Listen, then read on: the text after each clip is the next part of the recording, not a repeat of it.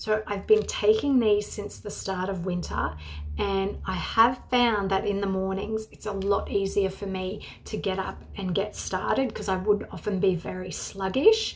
Um, so I'm not feeling that sort of winter chills down to my core and I can get up and I'm ready, I'm ready to take on the day.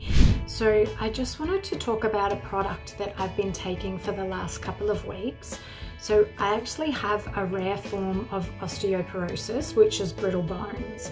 So I have um, four crush fractures in my spine. So as a result of that, I actually experience a lot of joint pain and inflammation. And one of my friends at work actually recommended um, 13 Seeds Therajoint and their turmeric supplement.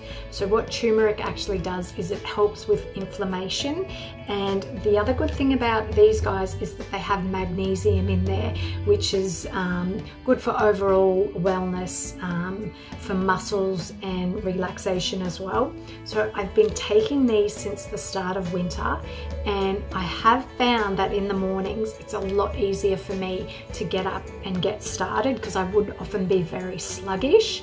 Um, so I'm not feeling that sort of winter chills down to my core and I can get up and I'm ready, I'm ready to take on the day.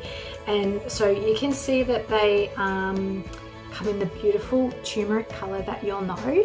And um, what else I love about them is that they're vegan friendly and they are made in Australia, which I absolutely love. So if you're after something to help with um, anything osteoarthritis related or inflammation and joint pain, I can definitely recommend these guys.